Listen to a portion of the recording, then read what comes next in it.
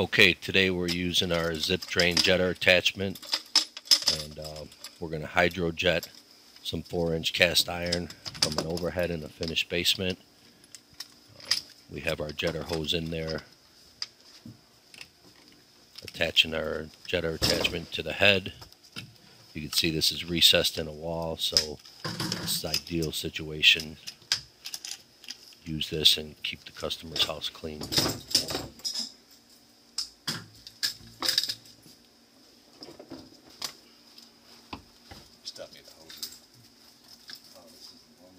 Getting our can set up for our discharge hose.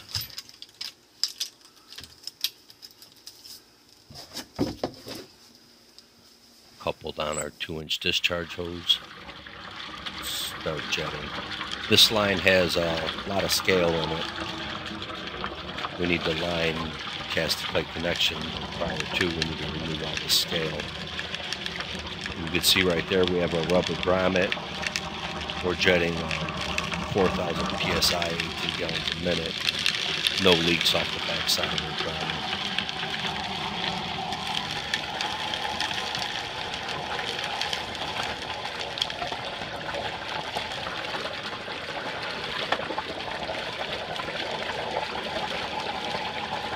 So we make a couple passes to try to remove all the scale.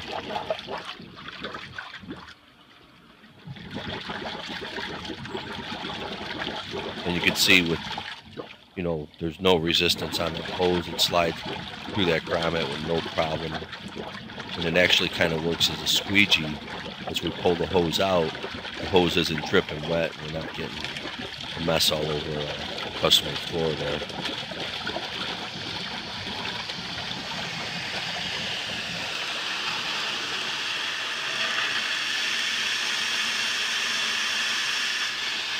All right, Kev, I think we're good. You there?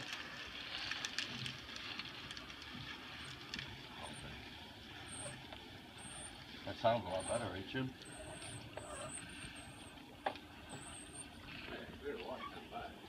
Yeah, I'm gonna come back one more time, quick, and I think we're good.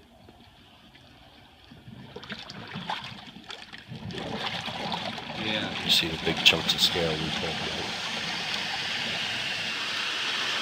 Yep, you're good, Kev. Throttle down, throttle down.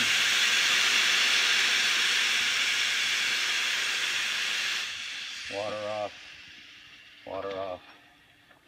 Good, You'll see there's our head right there. So we were able to pull all the way back looks good. into the uh, ZipDrain Yep. uh, without leaving chunks of scale in the uh, sewer.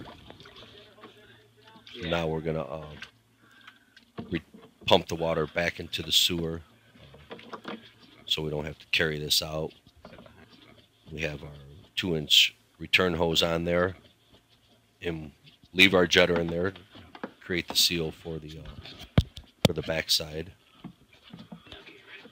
and we'll uh, return this water without pumping that scale back in. We'll stay at the bottom of the can. Hit the back right there, show leaks. See, we got no leaks.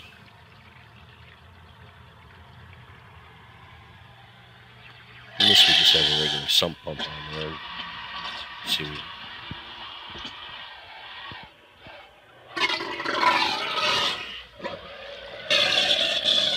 That's good. That's good. there's everything we pulled out of the sewer. Thanks for watching.